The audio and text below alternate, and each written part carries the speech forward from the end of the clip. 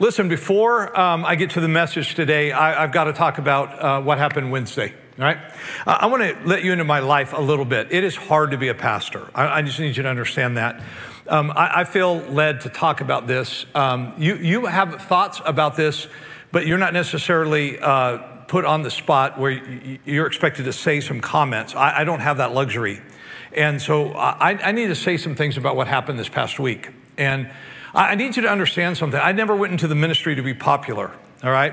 And in fact, any preacher who went into the ministry to be popular is not a preacher you should ever be involved with, frankly, because he's going to compromise what needs to be said.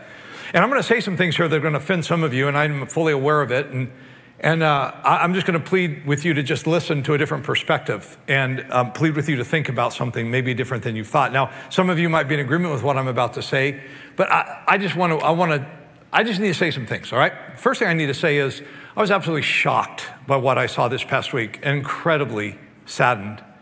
Uh, I, I, saw things I never thought I'd see in America. I have images now in my mind that I know I will never get out of my mind. I want to be very, very clear, lest you think otherwise. I love America. I am so grateful to God that I was born here, that I was raised here, and that I get to live here. It is not a utopia. It's not perfect. There's uh, things about it that are not good, but uh, there is nowhere else I'd rather live. I want to be crystal clear, all right?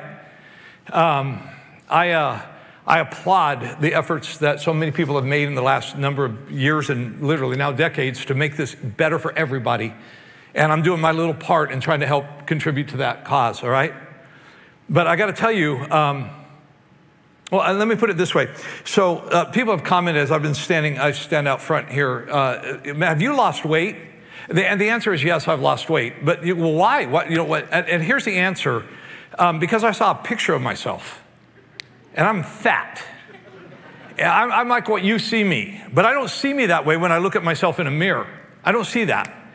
What, what I see is, I think what I want to see until I see a picture and I can't hide behind the picture. Folks, I saw pictures of what we've become. And we need to wake up. And, and, and we, we, need to, uh, we need to deal with this. Now, let me say this um, of all, the things that I saw, the thing that made me absolutely the saddest about what I saw was how Jesus got drug into all of that. I, I, I saw Jesus' name on, on, on flags. I saw cross, uh, a cross that was erected. I heard people's comments about Jesus. And I'm going to say this very, very clearly, and this is very important you hear me. Jesus had nothing to do with what happened the other day. And what happened the other day had nothing to do with Jesus. I need you to understand that when you drag Jesus into that mess, we've convoluted now what Jesus is all about to the entire world. And I shudder now to think what the rest of the world thinks about what's going on. Now, I'm going to say something that's very, very unpopular, and it needs to be said. There is a new false religion in America. It's not a new false religion out there, but it, for us, it's, it's kind of a new thing right now. It's called nationalism, and it's, ver, it's, it's literally bordering on idolatry if it's not crossed the line. Let me explain to you what nationalism is. Nationalism is when you believe that the country you live in is the most important country on the planet. Listen carefully to what I'm about to say. When that again, people who live in America, who that's their thing, that's fine. That's fine. I, you can have that opinion. But when that starts coming into the church, it starts to change things because what it does is it subtly conveys the message that we have more right to God, we have more God God's more for us than He's for everybody else on the planet. And how it gets couched in the language that you and I hear every day is America first. America first. Now, listen, if you don't believe in Jesus, you can say America first all you want. But if you believe in Jesus, I want you to understand that's idolatry.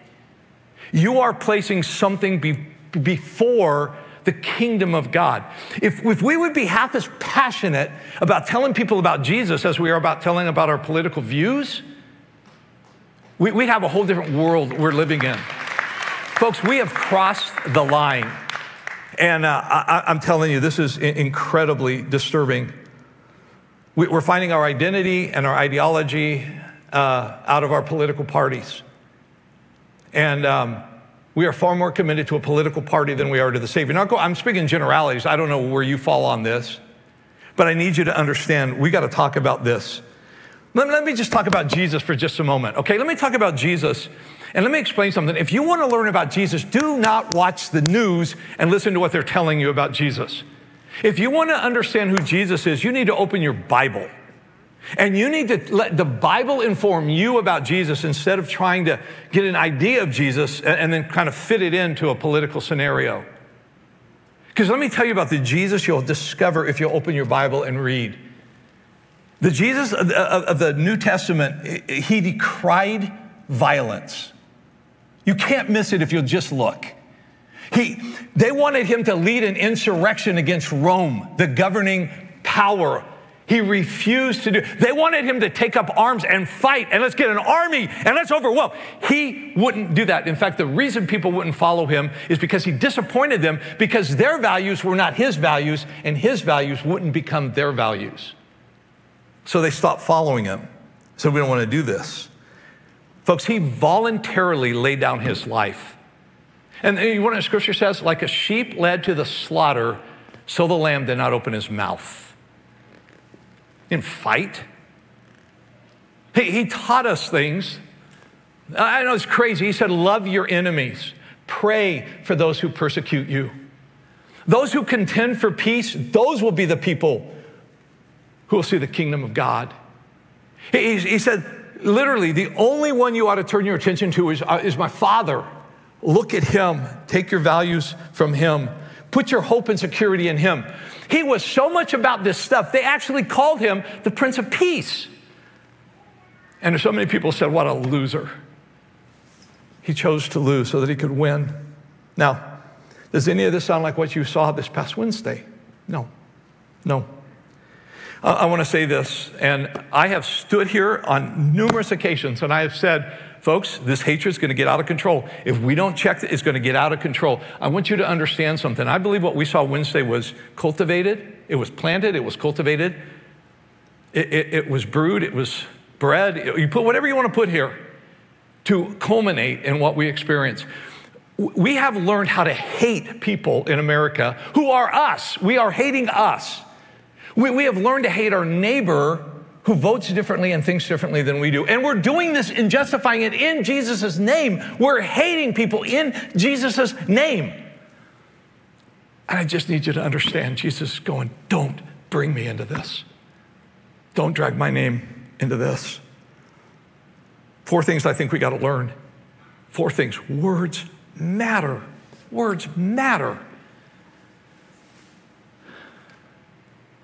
Words do things when you hear them. They motivate, they embolden, they define. Words have consequences. Ideas, lesson two, ideas matter. They motivate, they embolden, they define, they have consequences. Leaders matter.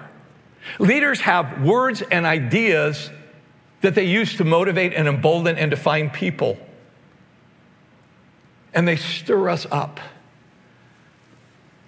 Leaders need to be responsible for what they do with their voice and their ideas. And character matters, folks. It matters. Character is who you are, it's what you are, it's you. And we have forgotten this because we've just basically said, you know, character, yeah, that's like, that's not important anymore. Words, ideas, leaders, character. Now, why am I telling you all this? To tell you again where I started.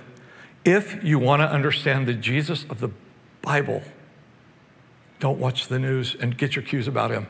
I am heartbroken for the compromised message that we now sent the world.